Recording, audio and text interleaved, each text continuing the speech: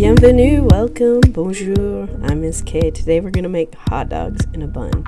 Hot dogs to go, kind of like pigs in a blanket. We're gonna start with some water.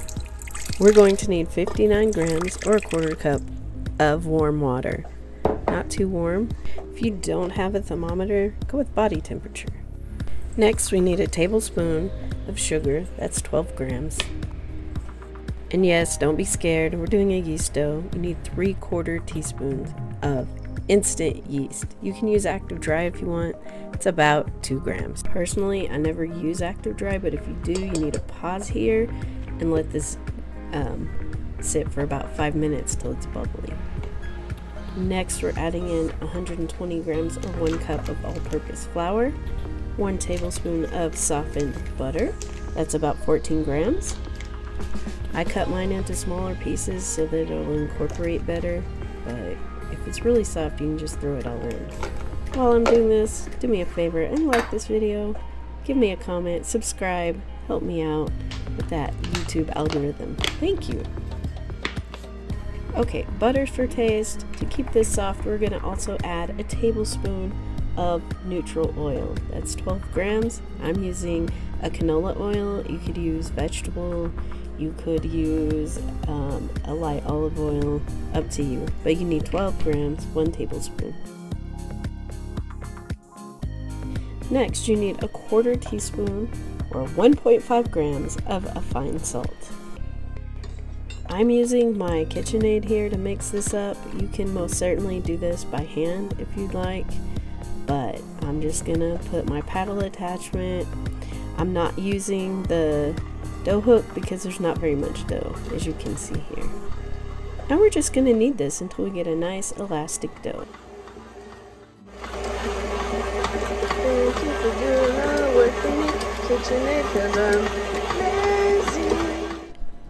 Now you can see this is a smooth elastic dough.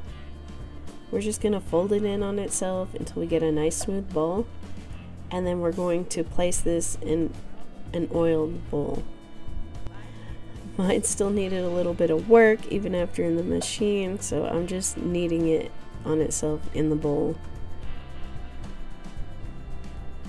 Look at that texture. It should not be sticky. By hand, this would take about 10 minutes. In the mixer, it was about 5.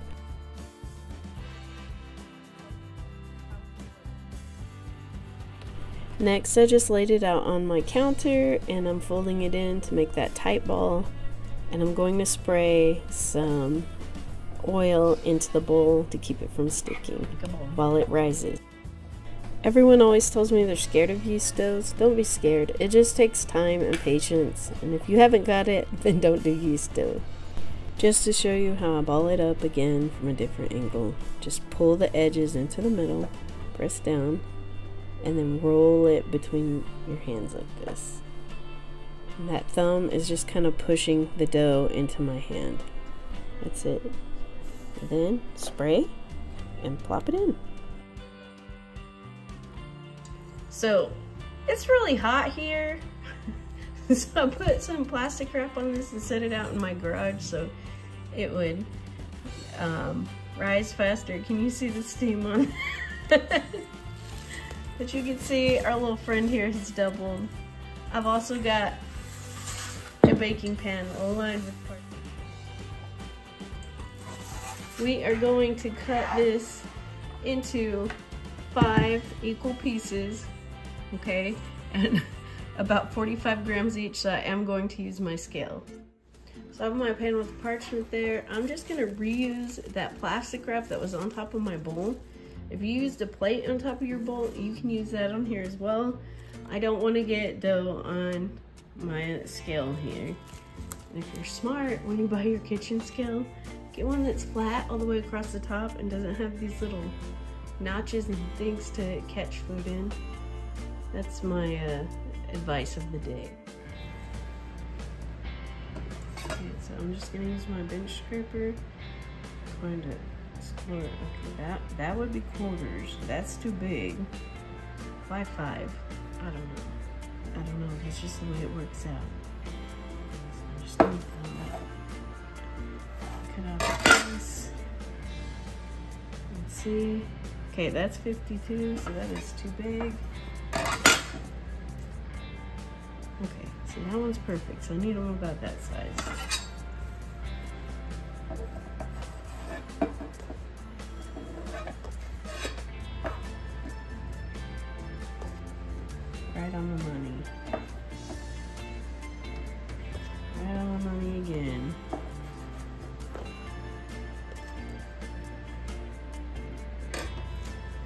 Work. Alright, and then my smallest one was that guy. Alright, so there we go. And then we're just going to fold these into balls and let them rest on the bench for about 10 minutes to let the gluten relax.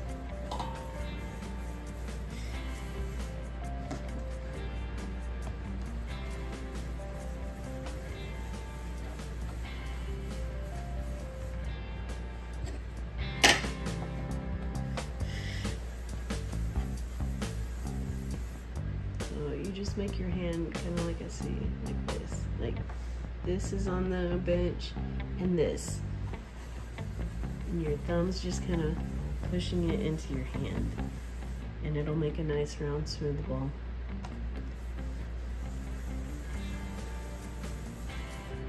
Reuse your plastic wrap to cover the dough balls so they don't dry out while they rest for 10 minutes.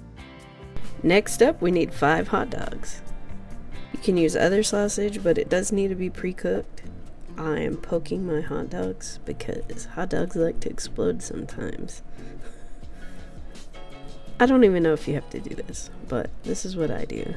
I'm using an all beef frank here. Use the ones that you like best. And yeah, I know there's six hot dogs and five dough balls. Don't even try to make six dough balls. I tried that, it's not enough bread. But maybe I need to see if I can tweak this to make six dough balls for six hot dogs.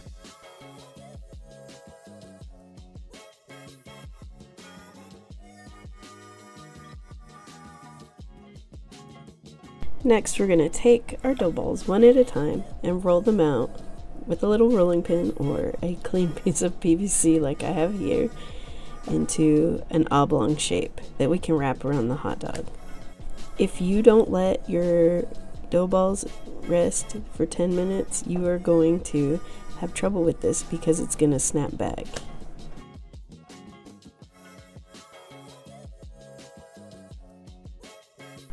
You can kind of coax this with your hand as well if you're getting an uneven shape. And then we have a couple of different ways that we can wrap this around the hot dog.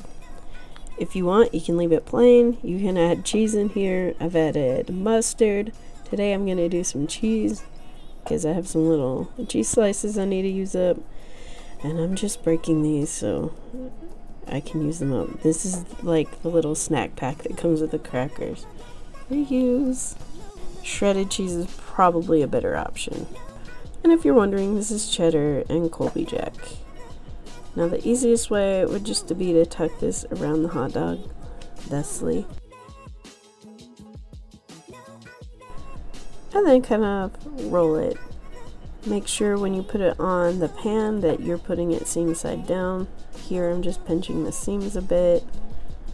And you're going to want it this seam side to go down on the pan. See, like that. That way it won't pop open in the oven.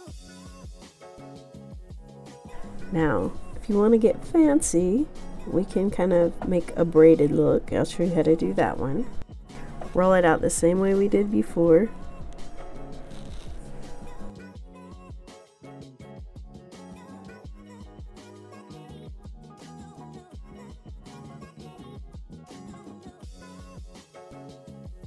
Place the hot dog in the center and then instead of wrapping it around the hot dog, I'm going to cut the sides first at an angle.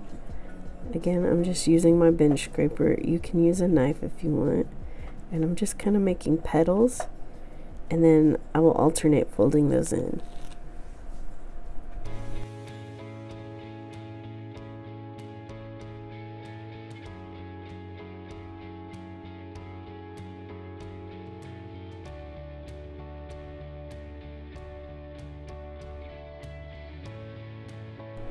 This might be fun for Halloween mummies. I don't know. It looks kind of cool. I like it. And I didn't mention it before, but I don't have any extra flour on here. I'm not having a problem with it sticking. If you do, put as little flour as possible because you don't want to add too much flour or it will take away from the softness of the final product.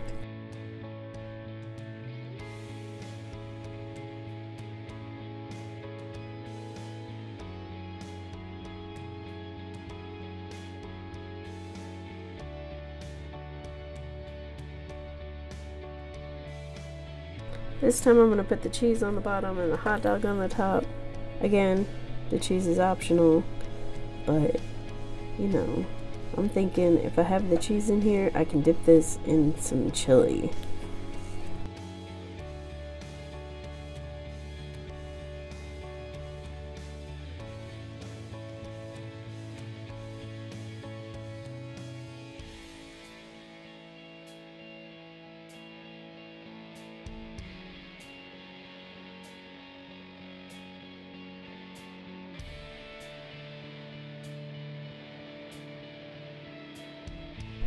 No matter how you decide to wrap your dogs, just make sure that the seam side goes down on the pan so that it doesn't come undone.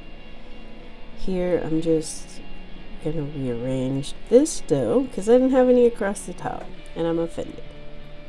Don't worry too much about how they look raw. It's going to rest and rise again and it'll get puffy and they'll look fine when they come out of the oven, I promise. Okay, maybe I shouldn't promise, but the likelihood that they'll be too ugly to serve is very small. Let's do another one with no cheese just to show you how that looks. I'm thinking this would be great for um, a picnic or to take in your lunch. You could have a dip with it. Um, this could be good for a 4th of July barbecue maybe. Alright, again, nice and smooth seam side down. So let me just finish these up. I'm on my last one. What is your favorite hot dog topping? Please tell me in the comments. Y'all don't kill me, but I never put mustard on my hot dogs. I've always put mayonnaise. There, I said it. But as much as I love ketchup, I can't stand ketchup on hot dogs. I've done the mayonnaise thing since I was little. My favorite hot dog topping would be mayo cheddar cheese, white onion, and some chili, like Wolf Brand chili. Tell me in the comments what your favorite hot dog topping is. And if I didn't mention it before, I originally found this recipe online. I will give you the link below to the original recipe in the comments. So now I have all of my hot dogs on the tray. I'm going to cover them we're going to let these rise in a warm place once again. We're going to let them rise until they're puffy. It's going to take about 20 to 40 minutes depending on the temperature in your kitchen. If you're afraid this will stick, you can certainly spray the plastic, but I haven't had a problem. While we wait for these to rise the last time, we're going to preheat our oven to 375 Fahrenheit. That's about 190 C. And when they're puffy like this, we're going to let them bake for 12 to 15 minutes in the middle rack. When they're nice and golden brown, we're going to place them on a rack to cool. And we're going to brush them with some melted butter. Ta-da! Don't those look lovely? The melted butter uh, tastes good. It makes them shiny, but it also keeps the crust soft and it won't get hard later. It's a good hack that you can use on dinner rolls or breads of any kind. So I actually didn't melt my butter. I'm just using a brush and a tub of the spreadable butter. Because these are hot, it's going to melt on there. But if you don't feel comfortable doing this, you can certainly just melt it and brush it on. You want a confession? I've used the stick of butter directly on here, but I don't want to do that in front of y'all. And that's it. These are ready to serve. Now, you can serve them as is, like this. You can take them with you in your lunch. You can have a dip on the side. Like I said, I'm going to have chili for my dip because I want a chili dog.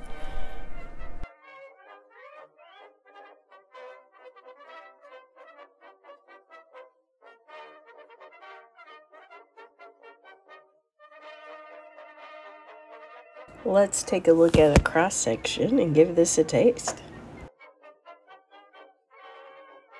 So you can see nice soft dough.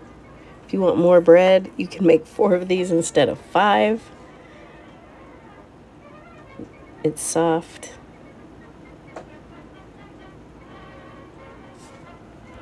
Let me know if you make these. Bon appetit. These are delicious. If you want another lunch idea, watch this next video. Au revoir. Bon appetit. Thanks for watching.